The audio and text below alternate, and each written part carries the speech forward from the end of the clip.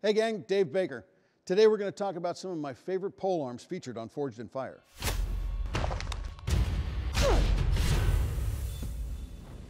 Historically, the pole arm is a standoff weapon. It keeps your enemy at a distance. You fight off enemy cavalry, enemy infantry, keeping them out of sword's range.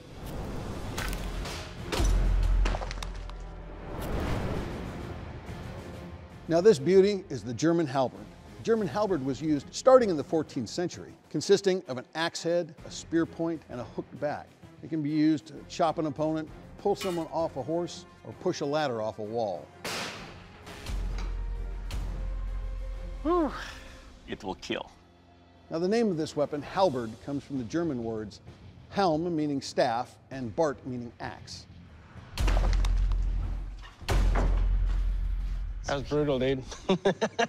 You can still see these halberds being used at ceremonial events.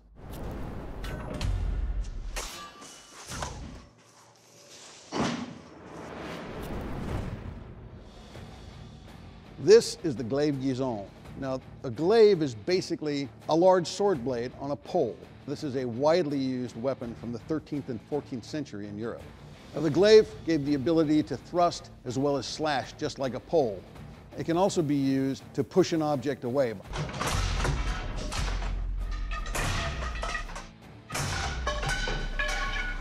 I'd say that's pretty good.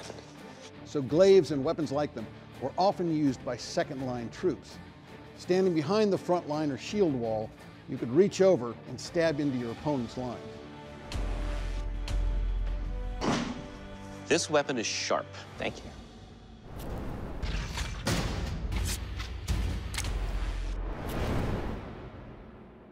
This weapon is the Qilongji.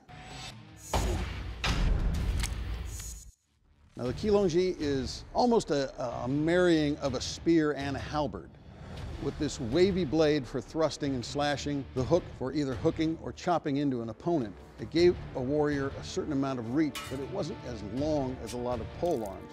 The Qilongji was a costly blade to make, so it was often reserved for palace guards or the upper echelon of the military.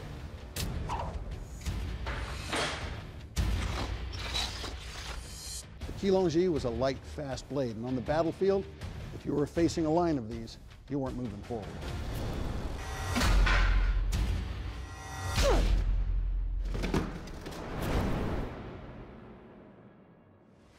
This weapon is the bardiche. The bardiche is a Russian weapon from the 16th, 17th century, most famously used by a group called the Streltsy, which were an elite musketeer group their heavy muskets were laid across the axe's blade to stabilize it. Once the musket was fired, it could be dropped and the bardiche picked up as troops charged. Nice. Head on, brother. These are a light, well-designed weapons. Remember, on the battlefield, you needed to carry this in one hand and a 16-pound musket in the other. That would really slow you down. Ha ha ha. It's a light, fast, deadly weapon with a colorful history.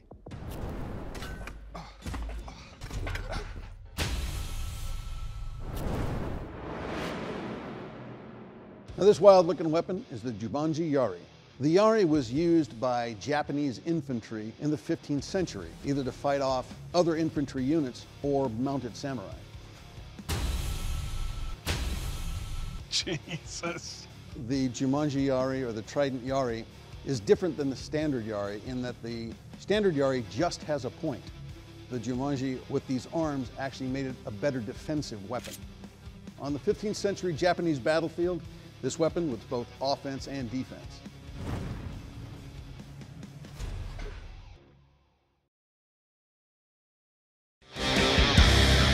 Thanks for watching Forged in Fire on History.